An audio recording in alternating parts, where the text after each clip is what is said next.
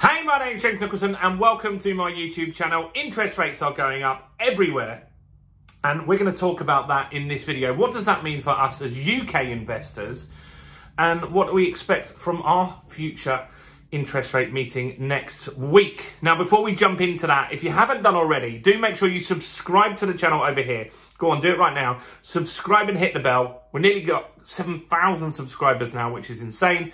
We're trying to get 100,000 views in October. We're going to hit well over 80,000 in July. So how you can help us get that target is by smashing that like button over there, guys. Go on, before we jump into the content, smash the like button because that will help us with the YouTube algorithm. So, what is going on? Well, first off, the Federal Reserve went on Wednesday. So that's the American Central Bank. And they raised their interest rates. This was kind of expected. Uh, and they went from 5.25%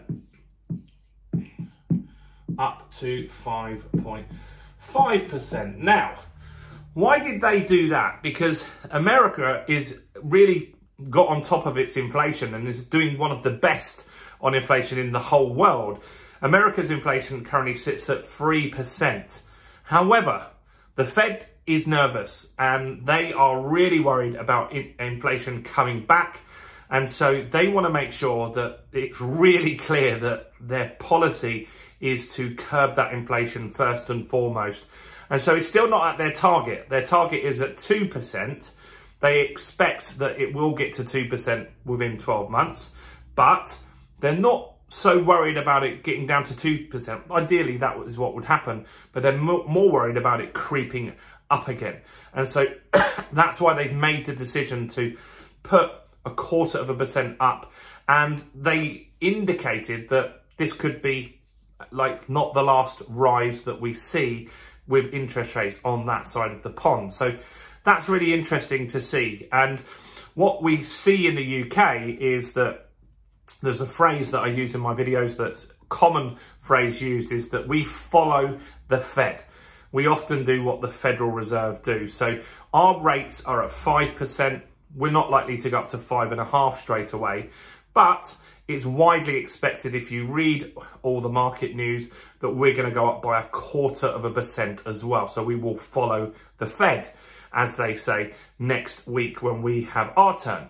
So who else has raised interest rates? Well, the European Central Bank as well. They are uh, at their highest ever interest rate. Obviously, the European Central Bank is slightly newer than the Fed and, and the Bank of England for sure. So they went from 4% to 4.25%. And again, in Europe, inflation is way lower than it is in the UK. We're at 7.9%. Europe has quite a few places now that are lower than 5% or there or thereabouts. So they're significantly doing better than us, yet they're still putting their interest rates up because again, all of these countries are massively concerned that inflation will either return or just be even more stubborn than we might think. And stuff's happening in the world. Um, I don't know how much this is going to impact inflation, but I can't imagine it was going to be good for it. Uh, Russia has a trade embargo. They're not letting the wheat go out of Ukraine to Africa and countries like that. That means worldwide prices on wheat are shooting through the roof. Uh, so countries that are reliant on wheat, they're going to have a bit of a shock, aren't they? And so that could uh, push inflation again and hopefully not in the UK, but it's possible, isn't it? So next week, I think it's August the 4th, um, the UK has their Bank of England meeting and we're at 5%. And so what we're expecting is that we'll go to five and a quarter percent. That's what's expected.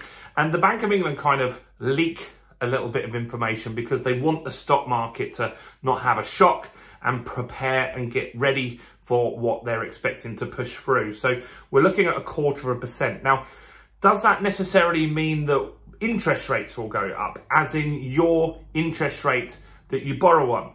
Not necessarily. So this will be the 14th consecutive interest rate rise that we've seen. And that's a lot. that's been going on a hell of a long time now, hasn't it? Uh, so more than a year of interest rate rises. And that's 14 in a row that we'll have seen by that point.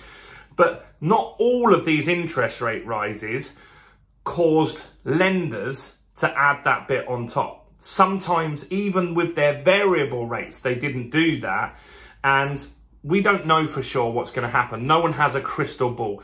Banks can do what they want to do, really, but they are starting to try and get a bit more competitive. So this week we saw HSBC actually reduced their rate. They know the Bank of England base rate goes up next week. They're not living in a cave. They understand more data than anyone does. Not, I don't know as much as HSBC does, and neither do you.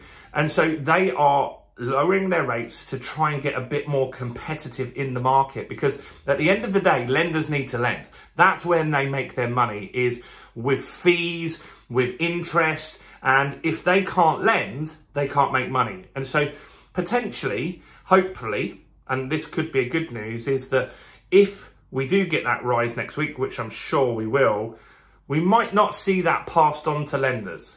And so that is a good situation that we can be in. Some lenders will, some lenders won't, but that's what we want to be keeping an eye out for next week. So what do you think is going to happen? Tell me in the comments below. There's a lot to discuss in this. So first off, where do you think the Federal Reserve are going to end up with their interest rates? So they're at 5.5% now. Do you think they're going to go up any more, considering they're at 3% inflation? Let me know in the comments below. European Union, they're at around 5%, as in inflation, and their rates are at four and a quarter percent. Where do you think that one's going to go? UK, we're at 7.9% inflation, which is bonkers. Um, it's really bad that we're doing so badly compared to everybody else. And we're going to be at five and a quarter percent. Where do you ultimately think interest rates end up in all of those regions? Do comment below. I'd love to know your thoughts and opinions. And do you think that lenders are going to pass this on to borrowers? Do you think they're going to pass this on? I'll tell you one thing that they probably won't do because they only did it kicking and screaming recently is I don't think that they're going to pass it on to savers that quickly. And that isn't the way it's meant to work. They're meant to pass that on to savers. But again, they're profit-making machines. Um, do you think this will go on to savers? Do you think ISAs and stuff like that will start benefiting from really decent returns on interest rates? Or do you think they're going to keep it to themselves? It's an interesting time. Um, I personally think that the Bank of England are going to raise to five and a quarter percent. I think they'll get to five and a half percent maybe the next month. And I think then we'll have a pause.